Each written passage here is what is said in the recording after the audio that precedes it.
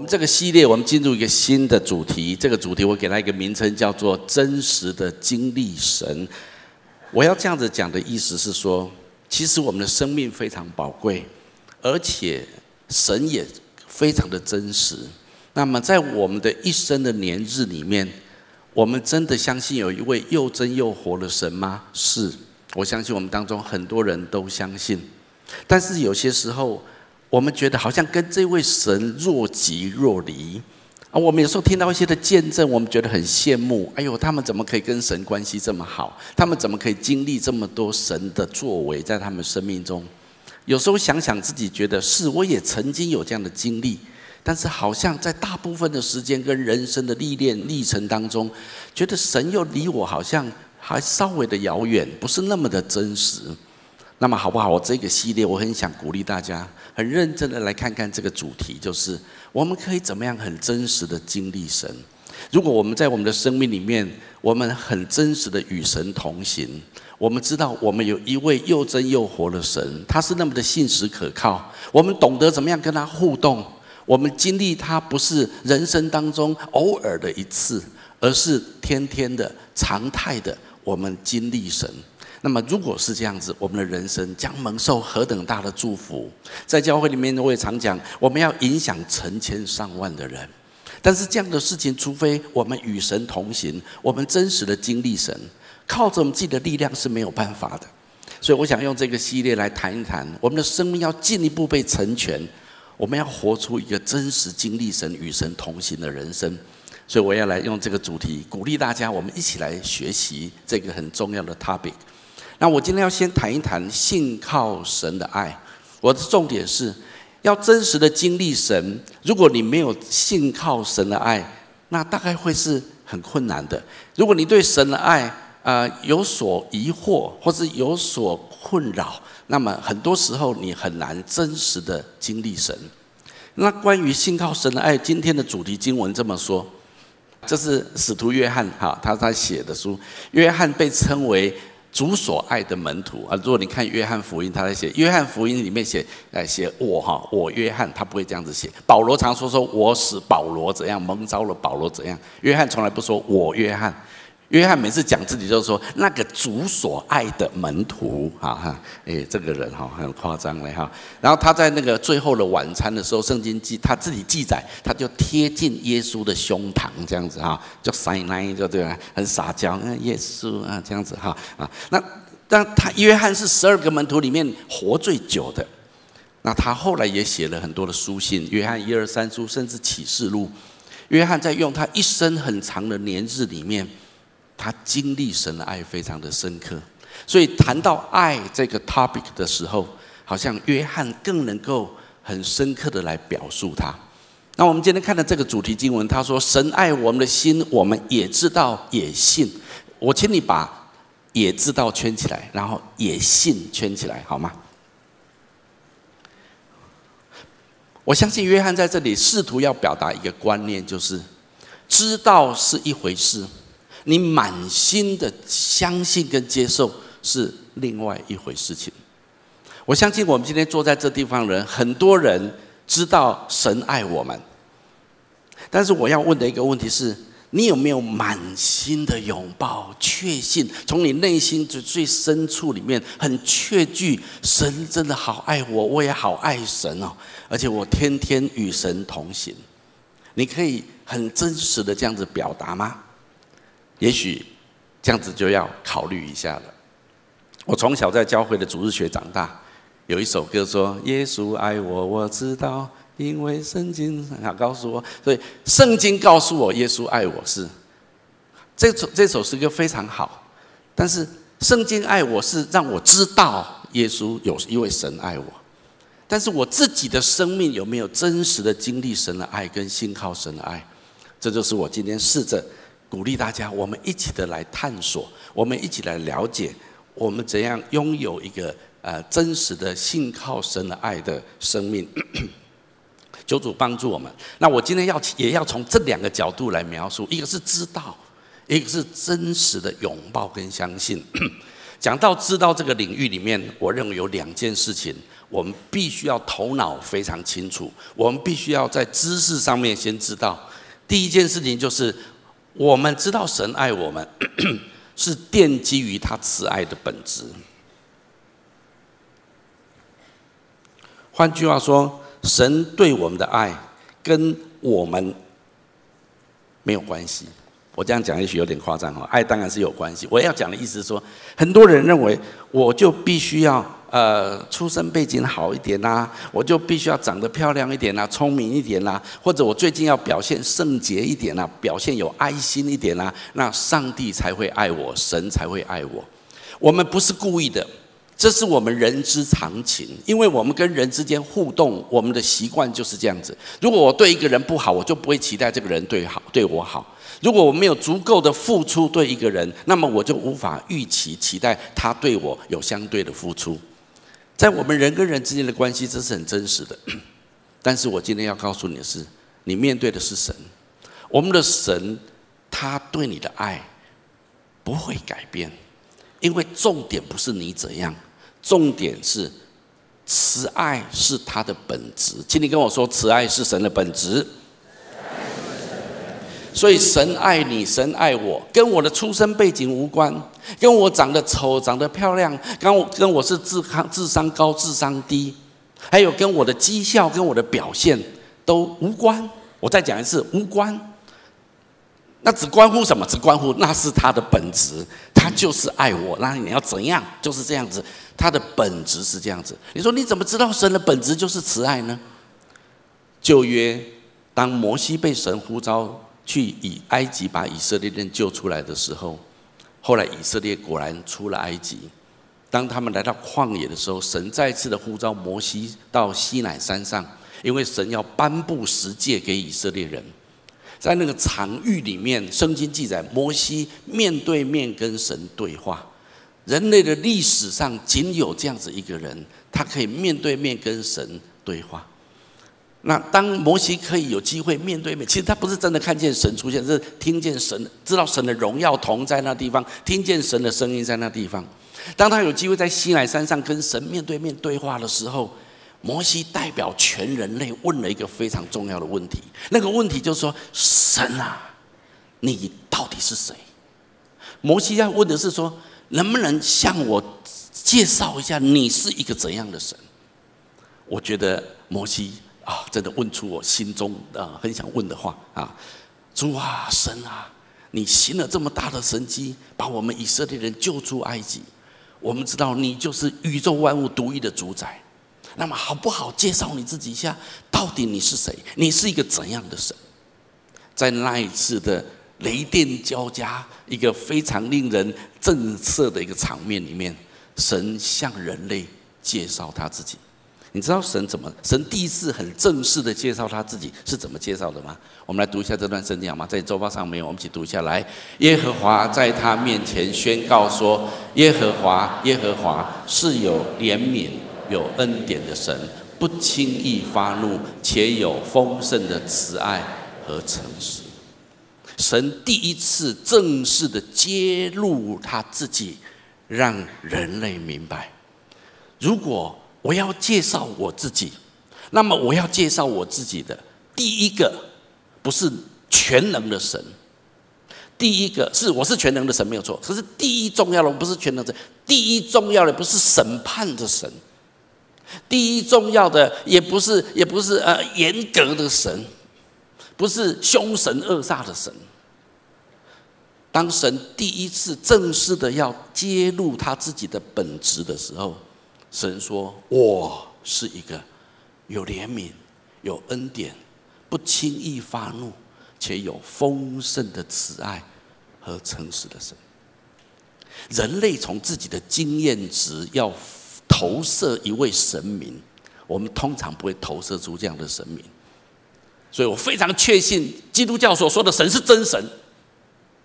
你不相信没关系，我相信，因为人类自己所投射的神，通常都是啊，嗯，我为什么？因为你不听话，我就修理你啊，啊，我就审判了，雷电交加，电死你，为了要让你降服我的神威。可是当这位神，以色列所敬拜的这一位神，第一次揭露他自己的本质的时候，他说：“我是有丰盛的慈爱跟诚实的神。”如果在旧约圣经，你一路的再看下去，无数的经文描述到神慈爱的本质。下面这段圣经节，很多人也不陌生，我们一起读下来。你们要称谢耶和华，因他本为善，他的慈爱永远长存。他的慈爱永远长存。其实这段圣经节在诗篇第一篇，呃，一百三十六篇第一节，他说：“你们要称谢耶和华，因为他的慈爱，呃，他本为善，他的慈爱永远长存。”啊，如果你有空看一下这段圣经节后面。全部都是因为他的慈爱永远长存，因为他的慈爱永远长存，因为他的慈爱永远还没有结束，后面还有一大堆，好就这样子啊。圣经里面，如果你读诗篇里面，你不断的会看到类似这样的一个诗篇，这在表述什么？表述我们的神，他的本质是慈爱的。我要讲什么？在知识上，在认知上，你要知道一个客观的事实：为什么我们可以信靠神的爱？因为跟你无关。跟你是一个怎样的人无关，跟你的出生背景无关，跟你的表现无关，跟神的本质有关。因为神就是慈爱的神，而神怎么表达他的慈爱？在旧约圣经，神跟以色列人之间的互动，表达他的慈爱，透过诗篇，透过很多认识神的人描述神的慈爱。在新约圣经，神更进一步的用一个方式来表达他的慈爱。这个方式就是神把他自己的独生爱子耶稣基督给了我们。那这件事情到底是怎么进行的呢？这件事情说，基本上是神把他自己一切丰盛的慈爱、一切的饱满，放在基督耶稣他的儿子里面。我们知道我们的神是三位一体的神，请你跟我说，神是三位一体的神。所以圣父、圣子、圣灵是同等同尊、同样的本质。那。那神把这个这个圣子呢拆到地上来，然后神让他透过救恩，神让他可以住在我们的里面。你要知道，这个爱子是神一切的本质。所以下面这处经我很喜欢读来，因为父喜欢叫一切的丰盛住在他里面居住，所以。在圣子耶稣基督的里面，拥有神一切百分之百的本质跟丰盛，住在耶稣基督里面。然后他的慈爱做了一件非常独特的事情，神把这个拥有神自己本质一切丰盛本质的基督耶稣，放在那一些愿意信靠他的人里面。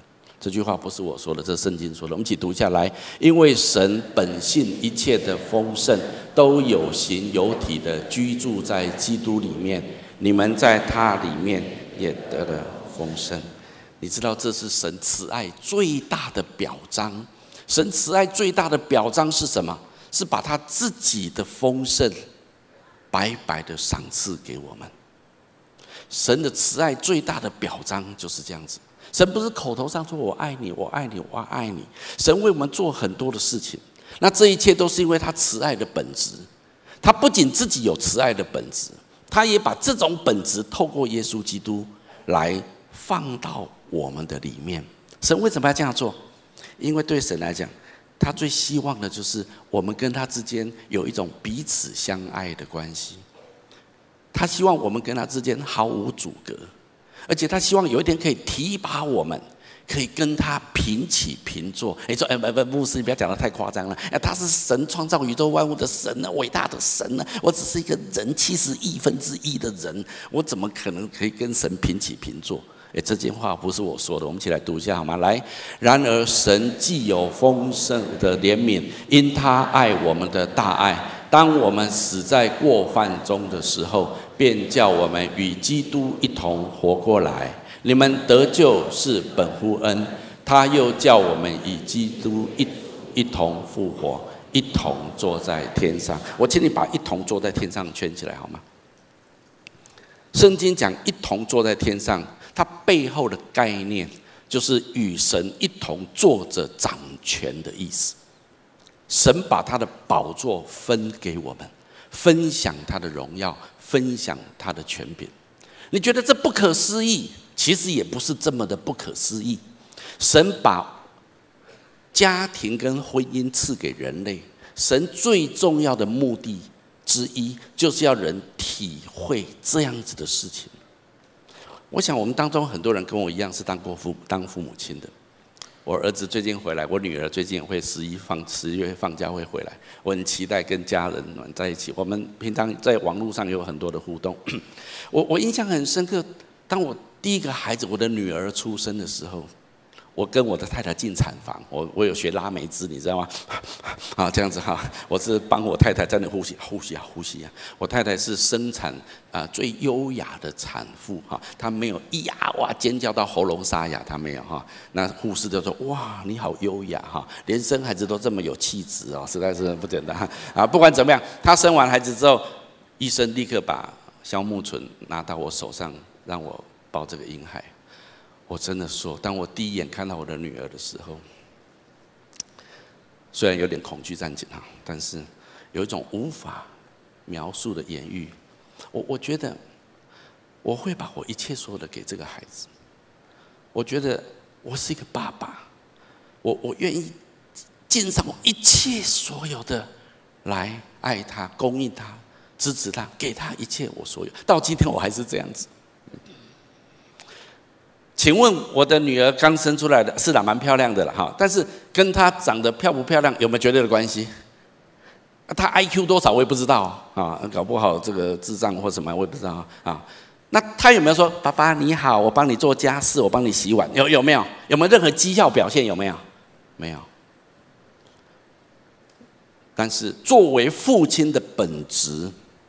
不管他是一个怎么样的对象，我知道一个健康的父母亲，就算我们生出有残缺的孩子，你仍然对他有极深的爱，那个跟这个婴孩无关，不是吗？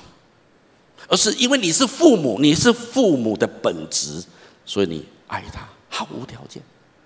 而且再进一步说，如有一天你也希望说，这个孩子长大之后，他可以分享你一切的资产，你同意吗？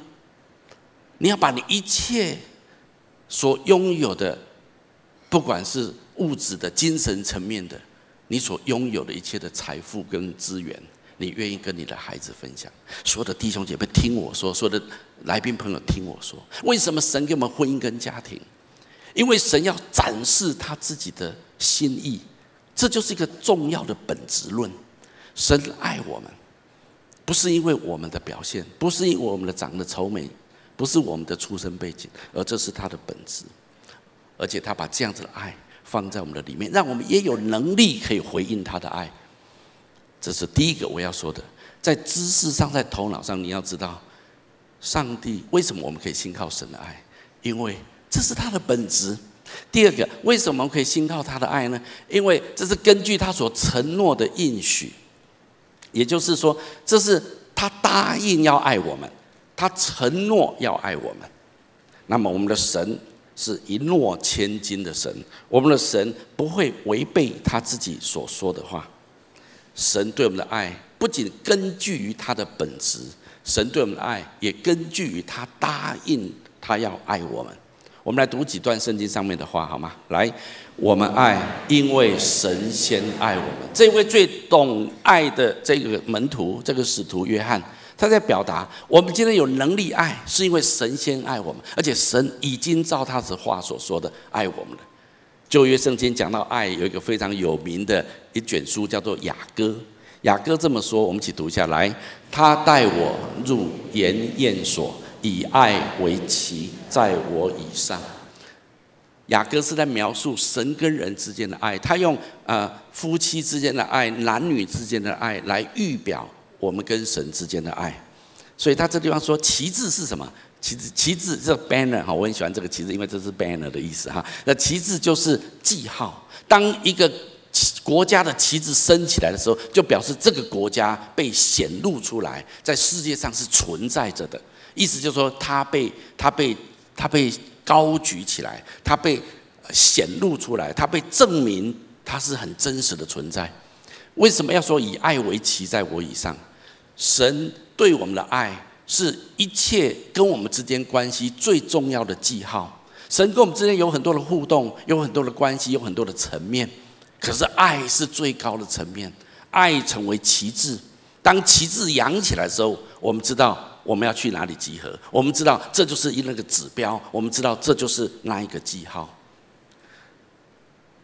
我们的良人，他的爱成为我们的旗帜。当他说他爱我们的时候，这就是他跟我们之间关系最重要的部分。所以这是神的爱，他答应他要这样子爱我们。所以我们可以信靠神的爱，是因为他 promise 我们。神不仅在口头上面答应爱我们，神也在实际的行动上面做出爱的行动。我们常说，爱不要只有啊讲了讲了很会讲啦，但是呃一一点作为都没有啊，这种人就是你就最好不要太相信他。可是如果他不仅讲，而且他做，他做出爱的行动，那说他神有做出什么爱的行动呢？在新约里面，在旧约当然很多以色列人跟神之间的互动，可是，在新约里面，神做出最大爱的行动，就是他把他的儿子耶稣基督赏赐给我们，赦免我们一切的过犯，把我们挽回到他的怀抱，好让我们可以跟他之间有一种爱的关系。所以这段圣经节我们一起读一下好吗？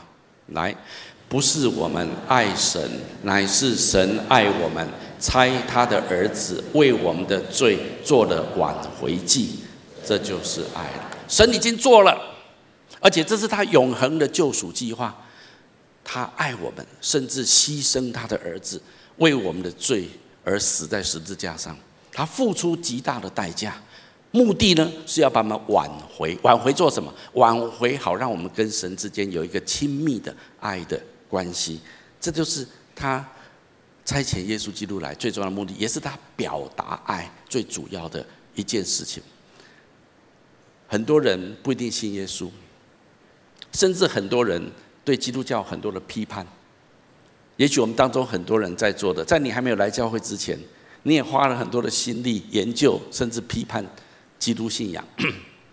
但是不管你用什么态度面对这位基督，基督或者面对我们的神，不管你对他过去的态度怎样。其实，在你批判他，在你攻击他，在你甚至咒骂神的时候，神已经为你差耶稣基督到世界上来，而且为你的罪死在十字架上。圣经说，这就是神的爱。我们来读一下好吗？来，唯有基督在我们还做罪人的时候为我们死，神的爱就在此。神的爱是你还在骂他，你还在咒诅他，你还在不相信他，你还在嘲讽他的时候，神就已经为你而死。我想对我们来讲，如果有一个朋有一个人敢嘲讽我，敢背后骂我，我没有骂回去，这就是我很高尚的地方啊！我还为他死，你别傻了，我为他死。但是我们的神是这样子。在我们还跟他敌对的时候，我们还在做罪人的时候，神就已经差他的儿子为我们而死。圣经说，这就是神的爱，这一切都是神的应许，神也真实这样子做了。还有很多的话语，我今天没有时间把圣经的话语一一的拉出来，讲到神答应他怎么爱我们，怎么爱我们。那这一切都是神的应许。关于神的应许，有一个很重要的事情是下面这段圣经节，我们一起读下来。我们纵然失信，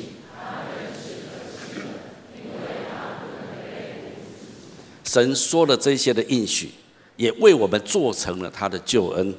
那么今天照他所说的，他一定会爱我们到底，他一定会这样子做，因为他不能够违背他自己所说过的话。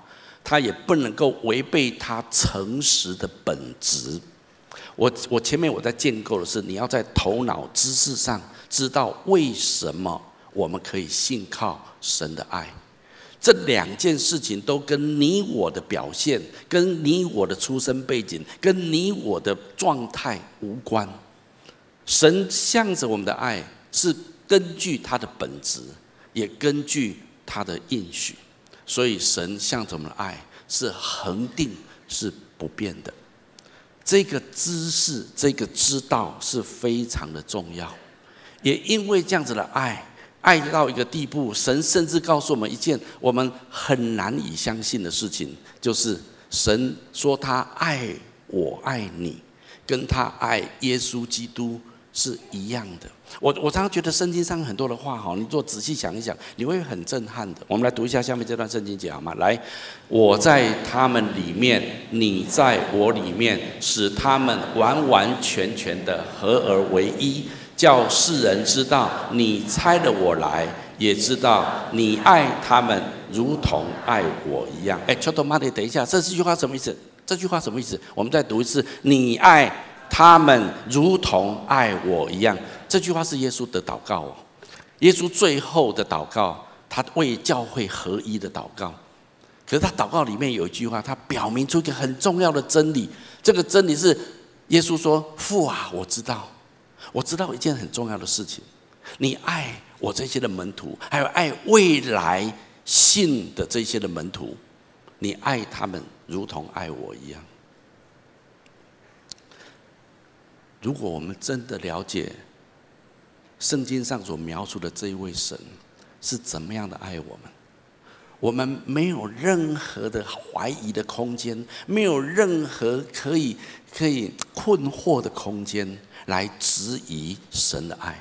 我现在讲的先是知识的层面啊，你要认知，所以神对我们的爱是完全可靠，因为这是他的本质，也这是他的应许，他也不是说说而已。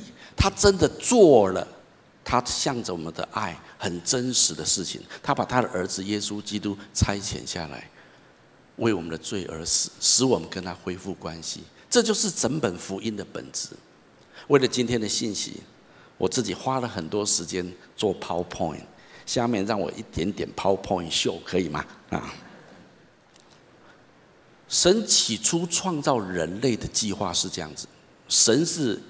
习在、永在、永恒存在的神啊！我特别去找那种金箔的背景哈，因为黄金玉表神是最荣耀的哈，所以请你跟妈妈说，神的本质很荣耀。好，那神创造人类，神按照他的形象创造人类，神把人放在伊甸园里面，神要让人经过一个考验的过程。为什么要这样子做？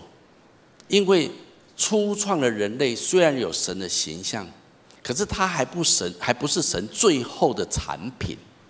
因为神赐给人自由意志，神要人能够自己做选择，他要选择与神在一起，还是要选择自己做自己要做的事情。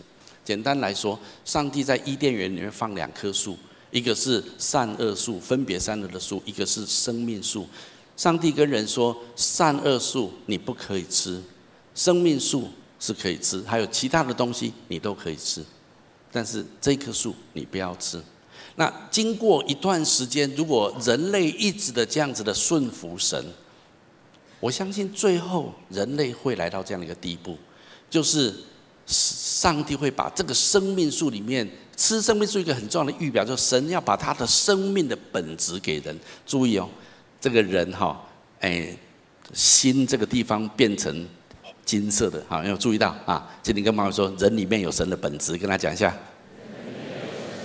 我做这泡泡都是背后很多神学的，我跟你说哈啊，那人就经过这些的熬炼试验，人人证明自己跟是顺服神，我是跟神认同的，我愿意站在啊按照按照神的心意来活活我的生命。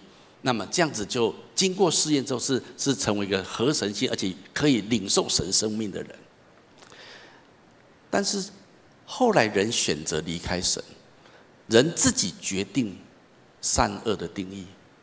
人跟神说：“你不要告诉我什么是对我好，什么是对我不好。你的太八股，你的太古老。我认为自己认为什么是对，什么是错，什么是善，什么是恶，我自己决定。”谢谢你，不用麻烦你，不用来跟我说。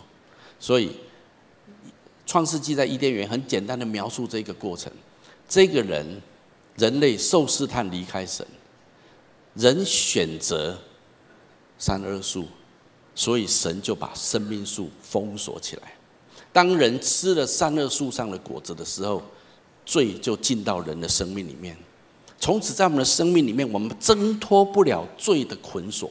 所以保罗说：“行善，立志行善由得我，可是行出来由不得我，因为我们在里面有一种罪性，有一种罪的力量，使我们知道，使我们明明知道该做一些正确的事情，我们偏偏做不到；那不应该去做一些不好的事情，我们偏偏就是去做。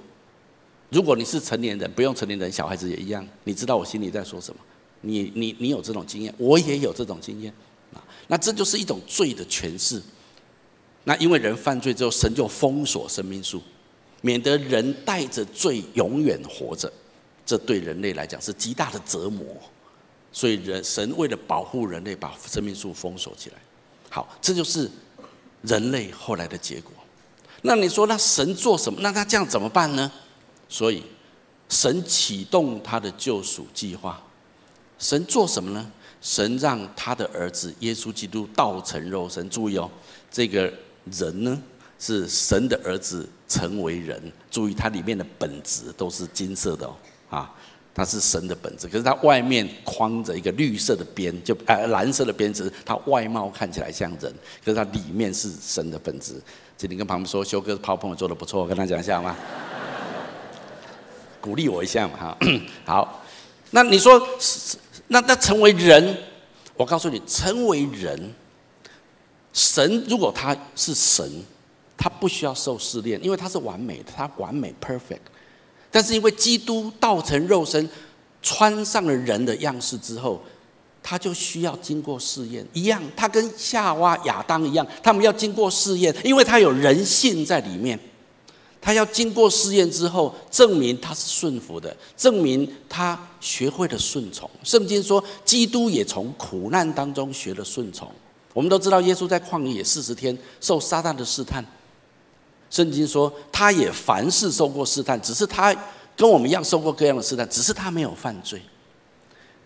耶稣胜过一切罪的试探，证明他是顺服神的。也因为这样子，他有资格可以为人的罪代替人的罪，所以。神预备了耶稣之后，神开始他的救赎计划。是我们本来这个人在这里，我们选择了三二三二数，我们拒绝了生命树，坠到人的生命里面来。但是在这种状况里面，神赐下基督的救恩，使人接受救恩之后，就可以领受新的生命。这个新的生命就是我们最蒙赦免，然后。可以领受基督生命，我们成为一个最蒙赦免、可以领受基督生命的人。注意，这个人跟刚刚起初神亚当第一张图后面这个人是一样的，有没有看到呢？我我要讲的，这就是神很重要的计划。这一些过程里面，因为神差他的儿子道成肉身，透过他的儿子，我们今天也成为一个拥有神生命本质的人。所以，基督被我们称为哥哥，然后我们因为在基督里面分享了神的本质，而这一切都是因为神爱我。圣经上有一句话，常常我看了很感动。我们来读这句话好了，来，因为他预先所知道的人，就预先定下效法他儿子的模样，使他儿子在许多弟兄中做长子。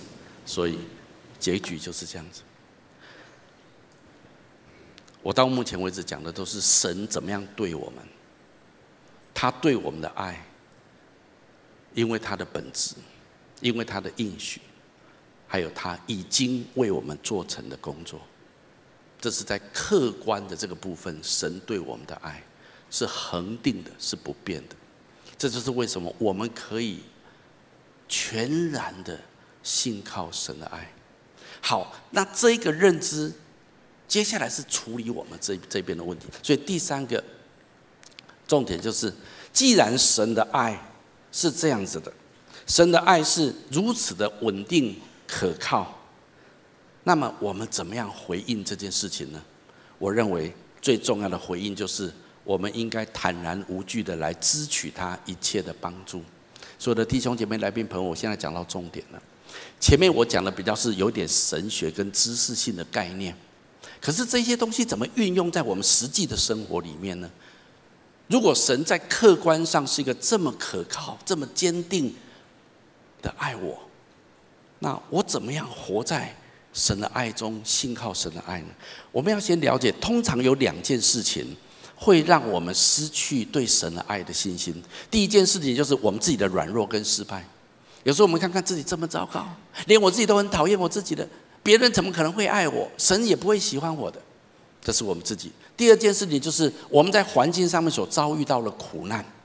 我为什么遇到这件事情？为什么神让这件事情发生在我身上？神一定遗弃我了，神一定不爱我了，不然我怎么会遭遇这样的事情？这是有可能的。这两件事情，一个是我们自己产生的结果，一个是环境所产生的结果。这两种结果会挫败我们对神的爱的信任。但是我要说的，神的爱却是恒定不变，他永远爱我们，而且他的爱是永远的信实可靠。我们现在处理第一个问题，我们自己的软弱跟失败。我告诉大家，撒旦有千百种的方法可以告诉你，你多么烂，你多么糟糕，你看你又失败了。你是一个污秽肮脏的人，你这样子根本是一个不配去见神的人。你这样子的人，你这样的一个状态，你觉得你自己都放弃你自己的，你觉得神还会爱你吗？很多时候，我们自己的挫败，我们自己的软弱，使我们对神的爱失去信心。但是在这里，我要再次鼓励大家，圣经上的话，我们一起来读一下，来。所以你们只管坦然无惧的来到施恩的宝座前，为要得连续蒙恩惠，做随时的帮助。圣经说：不要怕，不要因为好像你自己做的很糟糕，你自己表现不好，你觉得你自己污秽肮脏，你就觉得不敢去见神，不敢来到神面前。因为我们常常听到有一些人说：啊，你们教会哈都是圣人啊，都是圣人啊，我们这种罪人在外面看就好了啦，哈，你们去就好了哈。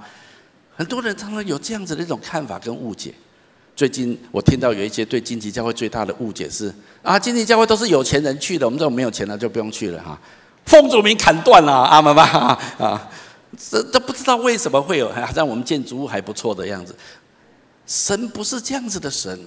不管你今天表现怎么样，你有钱没钱，你长得很漂亮，长得很不可不可爱，你觉得你你很聪明，觉得你很笨，你觉得你罪恶缠身，你觉得你做过一种一种连你自己都没有办法原谅自己的罪过，在你的生命当中，圣经说，你要坦然无惧的、勇敢的信任神的爱，来到神的面前，我也要得着帮助。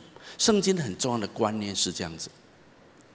你如果跟神离隔开来，你就更没有能力过一个得胜的生活。你的软弱只会更多的强化，更加的软弱。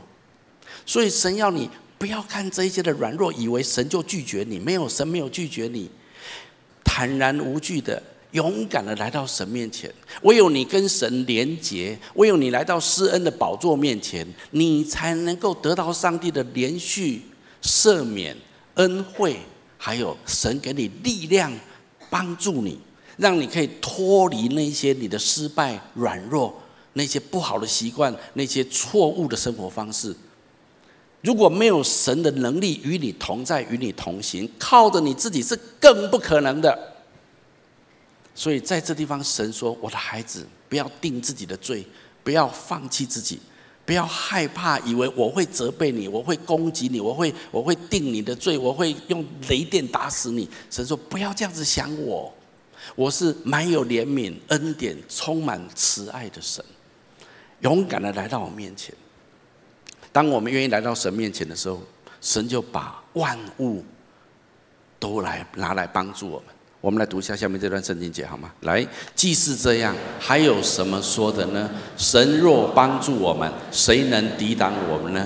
神既不爱惜自己的儿子，为我们众人舍了，岂不也把万物和他一同白白的赐给我们？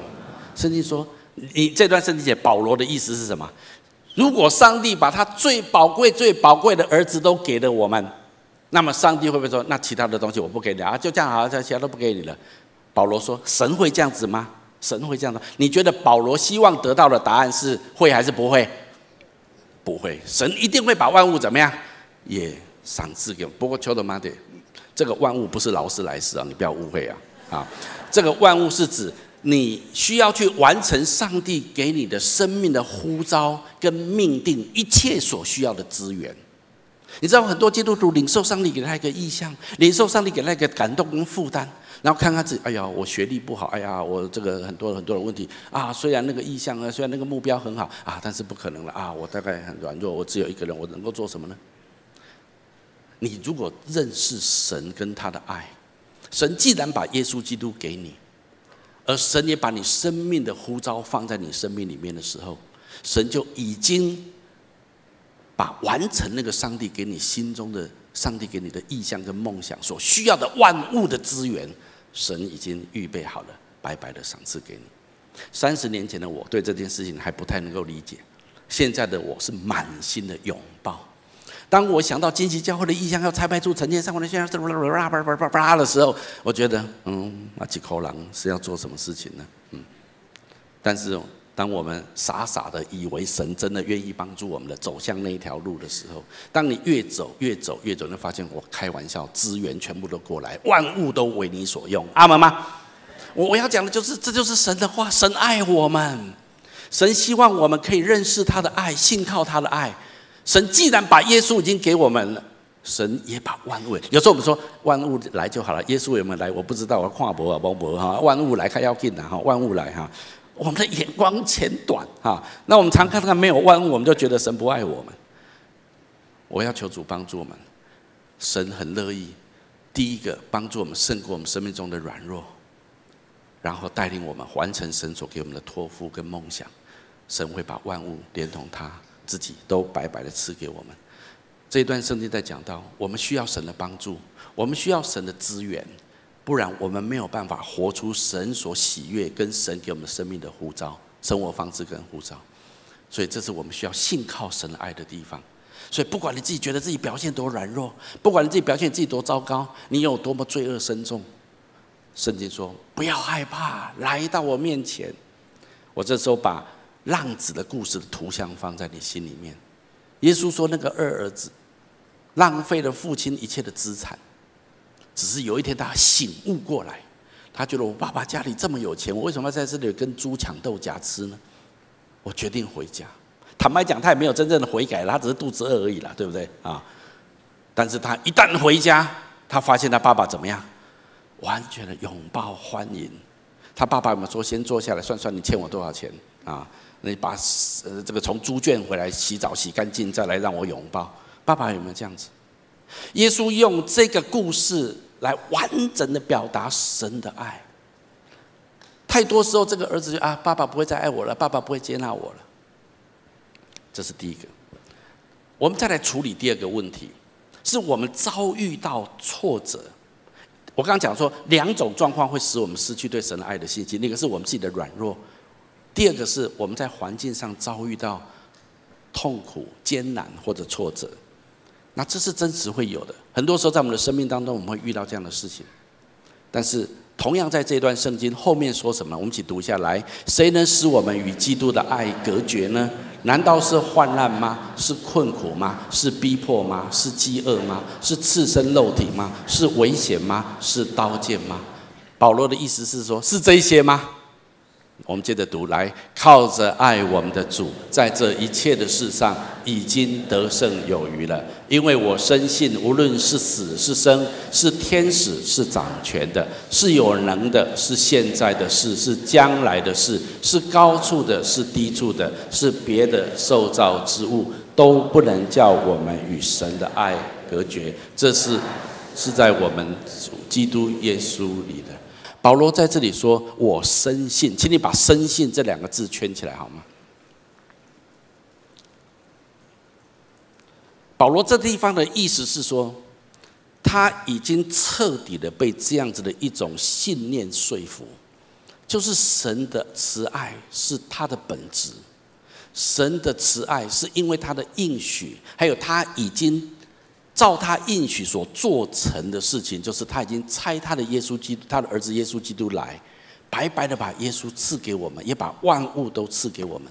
这一些的客观的事实，神慈爱的本质，神不变的应许，他儿子耶稣基督为我们的舍命，这些客观的事实，保罗说：“我已经彻底的被说服了。我深信，不管发生什么事情，这些患难吗？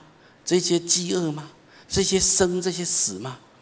都不能够叫神跟我的爱隔绝。”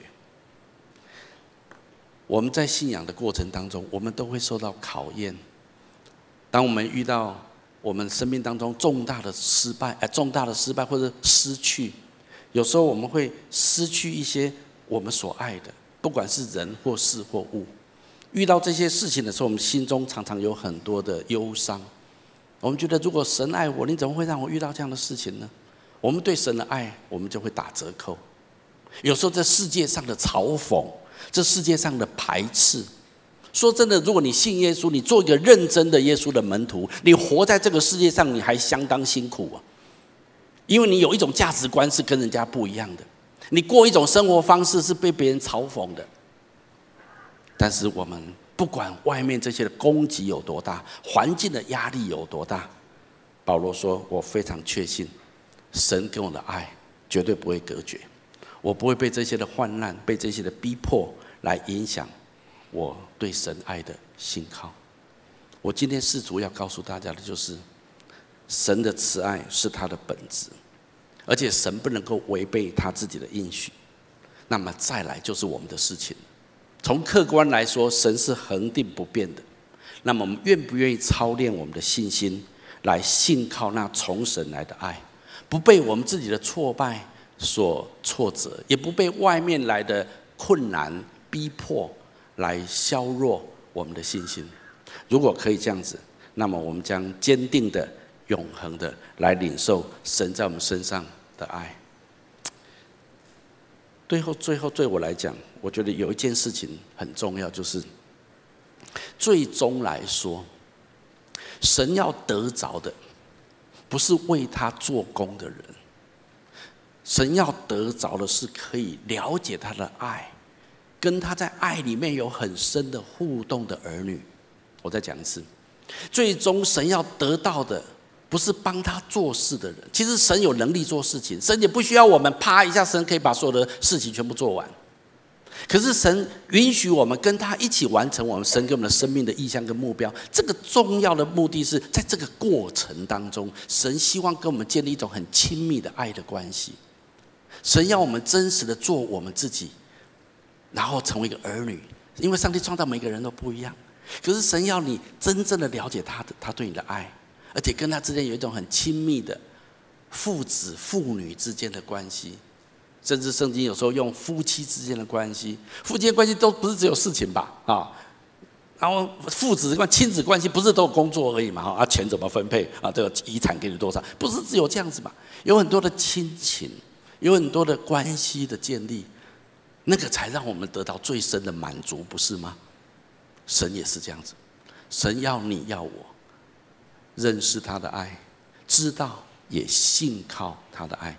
如果我们可以这样子，我们将领受神的爱一生之久。我们信靠神的爱，走在这条人生的道路当中，不管发生任何事情，我永远相信神是爱我的。我随时来到神的私人宝座面前，请求他帮助我。他一定会随时来帮助我。这样子的人生，你将真实的经历神。我们一起来祷告。阿爸父神，我奉你的名祝福每一位亲爱的来宾、朋友、弟兄姐妹。主，让我们的生命可以知道，也信靠你的爱。主，让我们的心灵被打开启，我们的眼睛被点亮，让我们看见你是何等的爱我们。因着你的本质，因着你的应许。还有你在历史上已经成就的救恩，主帮助我们全心的信靠你的爱，没有任何的拦阻，不管是我们自己的软弱或者外在的挫败，让我们坚定的信靠你，与你同行。我要请大家继续把眼睛闭着，在我预备这篇信息的时候，我觉得有一些话要来鼓励、安慰我们当中一些的弟兄跟姐妹们。我觉得在我们当中有一种人，你常常觉得。不管在现场或分堂点，你常常觉得自己不够圣洁，我特别要指明的是，在信这件事情上面，你有一些不好的习惯。有时候你很想胜过他，却是又常常失败，以至于你觉得神不会真正的爱你，神也不会使用你。